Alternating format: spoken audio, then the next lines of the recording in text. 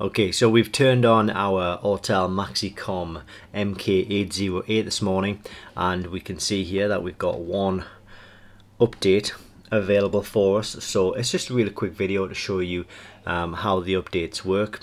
All you really need to do is just turn your tool on and if you've got a number in a red circle here, uh, that number will tell you how many updates are available. So all we really need to do is just click on the update section and there's an update um, optimize the renewal function. Uh, I don't really know what that means to be honest with you but just show you how to update this. Shouldn't take too long. We're at 18% already. 26% If you are interested in this kit, I'll put the link in the description below this video, but it is available at Diagnostic World. It's www.diagnostic-world.com. So we're at 98% now. That's downloading, and then what you've got to do is, I believe you've got to install it.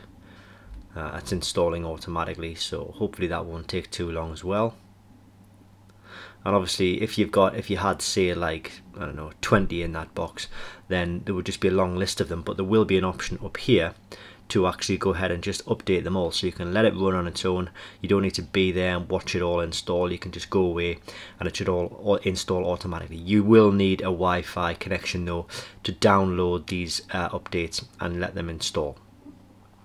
So this one's nearing enough now. 98% 99 please wait a moment.